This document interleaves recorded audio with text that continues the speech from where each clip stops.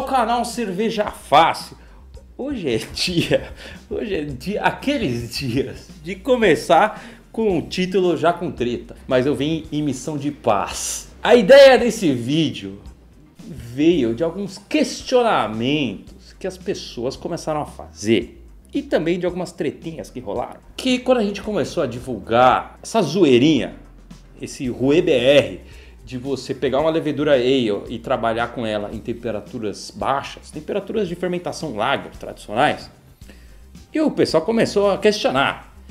Pô, Leandro, você tá ali fermentando desse jeito, daí eu, eu li o pacote, o S05 não fermenta essa temperatura. É de 15 a 22, 23. Não vai fermentar, o que, que você está falando?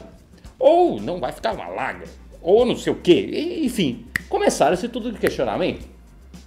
E eu só escutando, eu só escutando, só, né, só observo. E de fato, cara, eu falo isso porque eu já fiz muito isso. Você pegar uma levedura neutra, uma americana, até uma inglesinha, e você trabalhar em temperaturas baixas, ela realmente fica neutra demais, fica neutra e lembra as características de uma lager. Não estou falando que é uma lager, mas é quase igual. E vai enganar muita gente. Quer fazer uma fake lager? Faça, tal. Só não fica divulgando muito aí, porque tem uns caras muito bravos. Uns caras bravos aí que né, rasga as vestes, uns fariseus aí da cerveja e fica putinho. Legal, funciona, mas assim, as pessoas ficam com essa questão atrás da orelha, assim, falando, meu, mas ali tá falando que a temperatura de atuação dela é de, de uma levedura ale é de 15 a tantos graus, de uma lager de tantos a tantos. É mesmo? É isso mesmo? Será? Amigão, deixa eu contar uma história bem curta, bem rápida. A levedura Saccharomyces aí tá mais tempo na Terra do que ser humano. Sobreviveu à era glacial, sobreviveu a muita coisa sem precisar de a gente dar um tiquinho de mostinho para ela. Amigão, essa bichinha é braba. Daí, hoje você vai respeitar as leveduras. Então hoje a gente vai mostrar que esse papo de temperatura de atuação não é bem assim. Ó. Atuação, cara, todas atuam.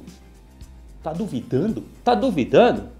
Então vamos lá. O que, que a gente vai fazer? A gente, aproveitando que a gente já estava gravando ali o starter de pobre e também de uma outra receita que a gente estava fazendo na Simbolverse, lá a gente já fez 40 litros. O legal de fazer 40 litros é que você vai separar em dois fermentadores. E aí você pode brincar com as leveduras. E essa brincadeira foi um pouco mais intensa, porque a gente pegou numa parte uma levedura lager tradicional, a gente fez o starter dela, e a outra a gente fez com uma levedura belga, a da Mangrove, Belgian Triple. Levedura fantástica, maravilhosa. E aí, vamos tratar as duas iguais, siamesas. Elas vão junto, vão fermentar na mesma temperatura de lager. Ou seja, a gente foi até um pouco mais extremo. Elas vão começar em 10 graus. 10 graus. Você abre ali o pacotinho da, da, da descrição da Mangrove, eles falam assim, ó. Fornece um casamento fantástico e complexo de especiarias, ésteres frutados, fenólicos e álcool. Possui alta atenuação, uma tolerância a álcool elevado, tornando-se perfeita para vários estilos belgas. Indicado para triple belga, cervejas trapistas. Características, né? Vai enfim, um pacote para 23 litros tal. Temperatura de fermentação. Não, não sou eu que estou falando, é os caras. 18 a 28 graus. E aí? E a 10? Você entra lá no chat da Mangrove, lá no, no Facebook. Ô, oh, mas e aí? Fermentar a 10 pode? Eles vão falar, não, de 18 a 25, 28. E daí eu comecei a pensar nessa ideia, fiz o starter, daí eu mandei para um amiguinho meu, um amiguinho fiscal de receita, famoso André da Insumos do Vale, do canal Mosturando, eu mandei para ele, mandei um áudio lá, não sei o que no zap, ele já respondeu do jeito mais especialista em cerveja. Ele comentou, eu acho que não vai fermentar. Smiley face, beijinho ainda, beijo me liga, só acho. É, então, eu também eu também nada, eu já sabia. 10 graus começando, eu, eu inoculei a levedura no dia seguinte, né? A gente fez o starter, nesse tempo que está fazendo o starter, a cerveja está resfriando para a temperatura de lager. Inoculei fermento lager, fermento ale belga. Vamos ver o que, que dá. Deixa fechadinho, esquece. Depois de 48 horas, né, daí a gente vê se está fermentando. E eu abri, confesso que eu já peguei a câmera e fiz esse, esse vídeo que vocês vão ver agora. Mas já peço desculpas porque as imagens são fortes e a linguagem é pesada. André, só um recadinho. 12 graus, fermento triple da Mangrove e Lager. Teu cu que não fermenta, porra! Não fermenta? Não, lógico que fermenta! Você acha que a levedura vai ficar dando sopa ali para um monte de açúcar? Vai fermentar, cara. A questão é o ritmo que ela vai fazer isso. Porque quando tá 28, é o ritmo do Silvio Santos, é ritmo de festa. Agora quando tá o frio, sabe quando você acabou de sair da piscina, você tá ali ó, tremendo, você quer uma toalha ali, você não consegue fazer nada? Então, quando tá friozinho, vai mais devagar, se reproduz menos, tal, vai mais de boa.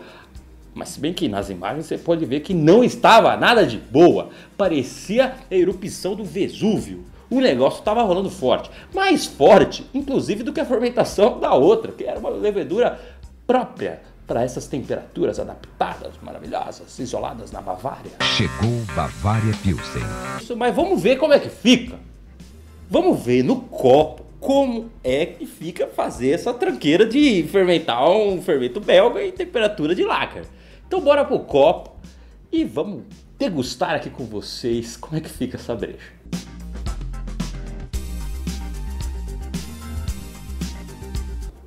Tá aqui uma cor amarelo, palha, bem clarinha, bem clarinha porque a gente só usou o malte pilsen. Era uma receita simples lá, a receita da Hadouken, só que com a brincadeira da levedura. Espuminha branca, consistente, persistente, convidante. Olha como essa levedurinha aí, Belgian Tripeu, é do capeta. Não só fermentou, mas esterificou a 12 graus. Essa levedura é o capeta mesmo, cara. Tá com aroma frutado, belga, todas as características de uma cerveja belga. Tá aqui a 12 graus. Nossa, leve, refrescante. Tem um spicezinho, um condimentado, um frutado. Lembra uma fruta amarela, um pouco de abacaxi. Ela tá entre uma Belgian Blonde, tem um pouco de vite. E ela é bem clarinha, levinha. Cara, interessantíssimo fazer essa Belgian Lager, essa Belgian Session, Session, é, Belgian, enfim.